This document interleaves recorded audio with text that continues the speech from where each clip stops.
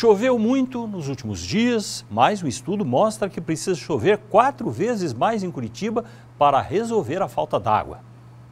Nos últimos três dias, a capital paranaense registrou pouco mais de 60 milímetros de chuva, o que fez melhorar o nível dos reservatórios, que chegou a quase 52% na última medição. Em todos os sistemas deu um alívio, não conseguimos reservar ainda água suficiente, mas melhorou o panorama geral. Cenário bem diferente do mês passado, quando as chuvas ficaram cerca de 60% abaixo da média, o que ainda é considerado uma situação crítica. Conforme registros do Sistema de Tecnologia e Monitoramento Ambiental do Paraná, a média histórica de chuvas de janeiro a setembro é de 1.041 milímetros nos municípios da região metropolitana de Curitiba.